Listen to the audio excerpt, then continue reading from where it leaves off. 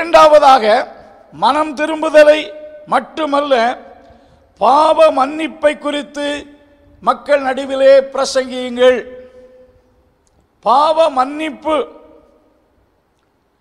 கத்தருக்கு மைமூண்டாவதாக பாவ மன்னிப்பை குறித்து ஜனங்களுக்கு பிரசங்கியுங்கள். எருசலேம் துவக்கி என்றால் எருசலேமில் ஏதோ மந்திரம் தந்திரம் இருக்கிறது கிடையாது. அன்றைக்கு அவர்கள் எருசலேமில் குடியிருந்தார்கள். ஆகையினால எருசலேமில் இருந்து உலகத்தின் எல்லா நாடுகளுக்கும் போய் இந்த கருத்தை பரப்புங்கள் என்று இயேசு சொன்னார். இந்த உலகத்திலே எந்த மனிதனும் மற்ற மனிதனுடைய பாவத்தை மன்னிக்க முடியாது. ஒரு மார்க்க தலைவர் எந்த மார்க்கத்தை சேர்ந்தவராயிருந்தாலும் அவருக்கே தன் சொந்த பாவத்துக்கான பாவ மன்னிப்பு தேவையாக இருக்கிறது. எந்த மனிதனும் பிறரை மன்னிக்கக்கூடிய பிறருடைய பாவத்தை மன்னிக்கக்கூடிய அதிகாரம் மனிதனுக்கு இல்லை.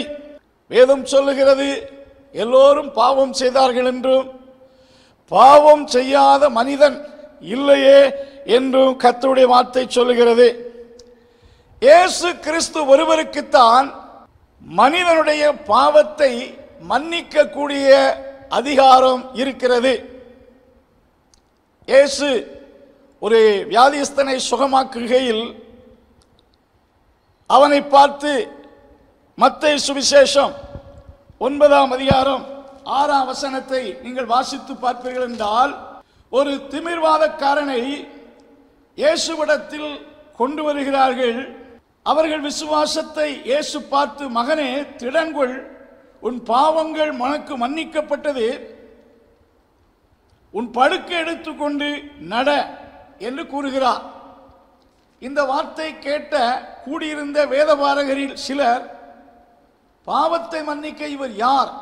என்று தங்கள் மனதிலே சிந்திப்பதை உணர்ந்த இயேசு கிறிஸ்து என்ன சொன்னார் என்றால் ஆறாம் வசனத்திலே பூமியிலே பாவங்களை மன்னிக்க மனுஷகுமாரனுக்கு அதிகாரம் உண்டு என்பதை நீங்கள் அறிய வேண்டும் என்று சொல்லி திமிர்வாதக்காரனை நோக்கி நீ எழுந்து உன் படுக்கை எடுத்துக்கொண்டு உன் வீட்டுக்கு போ என்று சொன்னார் ஆண்டவர் சொல்லுக மனுஷகுமாரனுக்கு பூமியிலே பாவத்தை மன்னிக்க அதிகாரம் உண்டு என்பதை நீங்கள் அறிய வேண்டும்.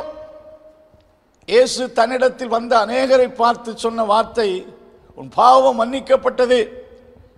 எழுந்து போ லூகாஸ் விசேஷம் ஏழாம் அதிகாரம் நாற்பத்தி எட்டாம் வசனத்தில் ஐம்பதாம் வசனம் வரைக்கு ஒரு பெண் இயேசுவிடத்தில் வருகிறாள். சீமோனுடைய வீட்டிலே இயேசு பந்தி இருக்கையில் இயேசுவை கேள்விப்பட்டு அவரிடத்தில் வருகிறாள்.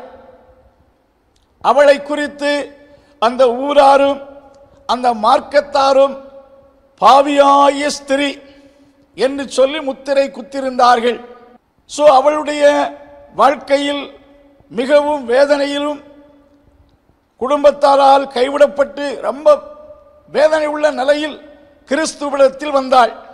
வேதம் சொல்லுகிறது கிறிஸ்துவின் பாதத்தை தன் கண்ணீரினால் கழுவி தன் தலைமயிரினால் துடைத்தாள் என்றால் அவ்வளவு கண்ணீர் சிந்தக்கூடிய நிலையில் அவள் இருதயம் உடைக்கப்பட்டதாகவும் மக்கள் சொல்லுகின்ற வார்த்தைகளை கேட்டு நொறுக்கப்பட்டவளாகவும் இருந்தாள். சீமோனுடைய வீடு என்று பார்க்கவில்லை. கிறிஸ்துவின் பாதத்தில் தன் கண்ணீரை சிந்துகிறாள். அந்த அளவுக்கு அவள் வேதனையோடு வாழ்ந்தாள். அவளை பார்த்து இயேசு சொன்ன வார்த்தை என்ன? மகளே உன் பாவம் மன்னிக்கப்பட்டது. சமாதானத்தோடே போ என்று இயேசு குறிப்பிடுகிறார். அன்பானுள்ளே இயேசுவால் மட்டும்தான் ஒரு மனிதனுடைய பாவத்தை மன்னிக்க முடியும். நாம் நேர்ச்சையினால் பெறக்கூடிய ஆசீர்வாதம் இதுவல்ல. புண்ணிய ஸ்தலங்களை தேடிச் செல்வதனால் கிடைக்கிற ஆசீர்வாதம் அல்ல. கிறிஸ்து ஒருவரே பாவத்தை மன்னிக்க இந்த பூமியில் அதிகாரம் பெற்றவர். ஆகையால் தான் அப்போஸ்தலர் நான்காம் அதிகாரம் பனிரெண்டாம் வசனத்திலே பிரசங்கித்தார்கள்.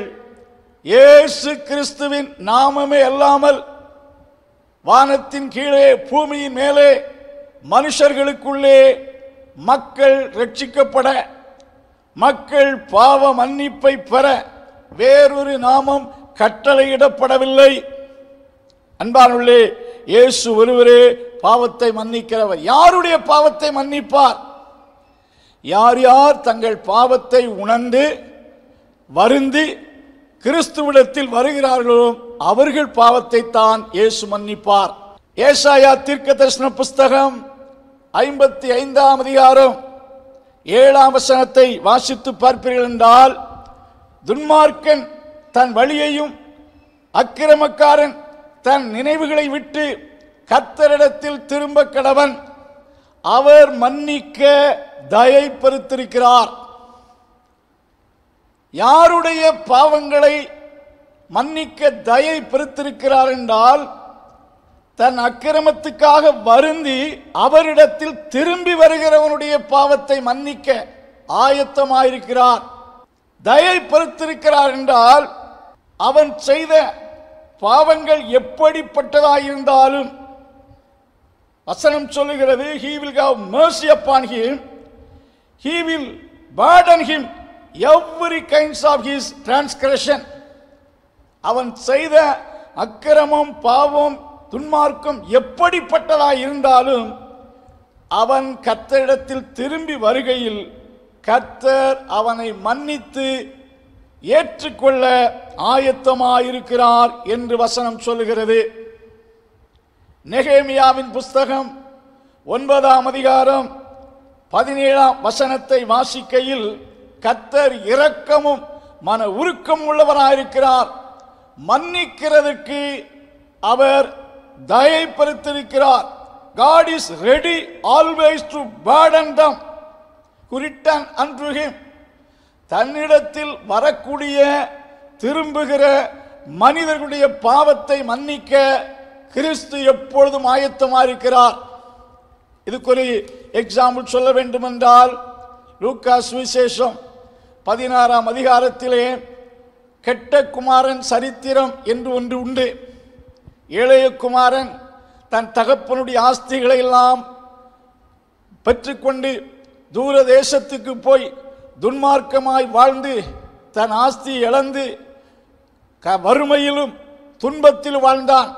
ஒரு நாள் இந்த கஷ்டம் இவ்வளவு கஷ்டப்படுகிறேனே என் தகப்பன் வீட்டில் எத்தனை பேர் சந்தோஷமாக இருக்கையில் ஆகாரம் புசிக்க வழி இல்லாமல் இருக்கிறேனே நான் என் தகப்பனிடத்தில் சொல்வேன் என் குற்ற என் குற்றத்தை அறிக்கை செய்வேன்.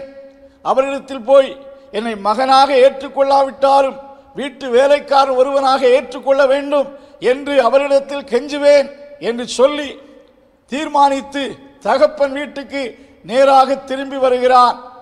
அவன் திரும்பி வருவதை தூரத்திலே கண்ட அந்த தகப்பன் ஓடோடி சென்று அவனை வீட்டின் வேலைக்காரனாக அல்ல. அவனை மகனாக ஏற்றுக்கொண்டு அவனுக்கு புத்தாடை கொடுத்து அவன் பாவத்தை மன்னித்து அவனை குமாரனாக ஏற்றுக்கொண்டு கழிகூறுவதை குறித்த ஒரு ஓமையை இயேசு குறிப்பிட்டு சொல்விருக்கிறதை பார்க்கிறோம். இடத்திலே இயேசு திரும்பி வந்த அவனை மன்னித்து ஏற்றுக்கொள்கிறார். இந்த வார்த்தையை கேட்டுக்கொண்டிருக்கிற நீங்கள் யாராயிருந்தாலும் எந்த நிலையில் இருந்தாலும் உங்கள் பாவத்துக்காக மனஸ்தாபப்பட்டு கிறிஸ்துவிடத்தில் வருவீர்கள் என்றால் உங்கள் பாவங்கள் சிவரென்றிருந்தாலும் எப்படிப்பட்டதாயிருந்தாலும் கிறிஸ்து உங்களுக்கு மன்னிப்பை கொடுப்பார். பாவ மன்னிப்பை கிறிஸ்துவை தவிர யாரும் இந்த உலகத்தில் கொடுக்க முடியாது என்பதை உணர்ந்து கொள்ளுங்கள்.